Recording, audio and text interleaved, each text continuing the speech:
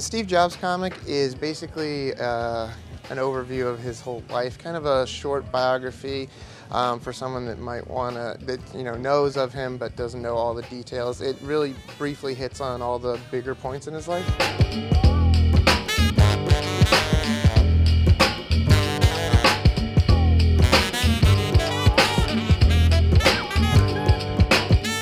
The artwork, um, it's pretty basic for a comic. Uh, you see a lot of iconic images that are uh, related to Steve Jobs. You see comic renditions of uh, his Forbes magazine cover, uh, a lot of his keynote uh, addresses. So you'll see a lot of stuff that you recognize, and then you'll see some other people that popped up in his life. Uh, the other guys that ran Pixar, they're in there briefly. Um, so you'll recognize everybody that's in there pretty much.